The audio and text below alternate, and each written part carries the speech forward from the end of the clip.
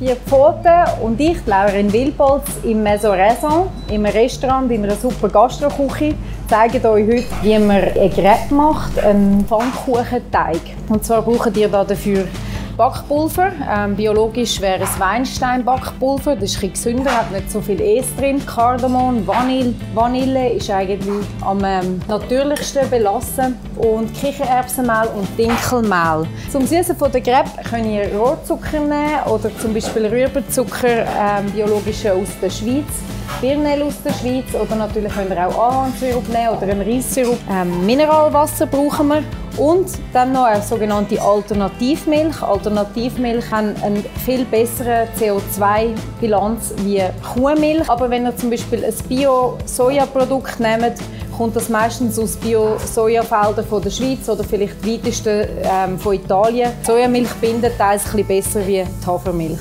Ihr könnt das in eine Schüssel tun mit einem Schwingbesen. Ich mache es jetzt wieder mit dem Mixer.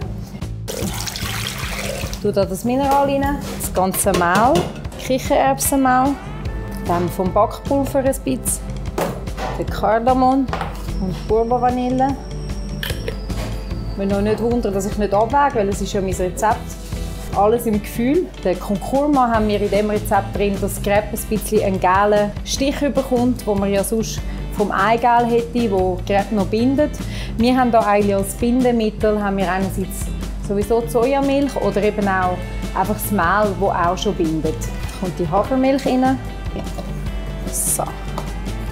Jetzt das ist der Ahornsirup für den Gau. Beim Süßen kann man immer selber entscheiden, auch bei Dessert, was für einen Gaumen man haben Und dann wird das gemischt oder eben mit dem Schwingbesen in einer Schüssel. Die Heime könnt ihr das gerne auch machen. Nach dem gut Durchschwingen vom Teig lässt du 30 Minuten Ruhe und kannst dann eine Teflonpfanne parat machen mit Kokosfett und die schon mal heiß machen.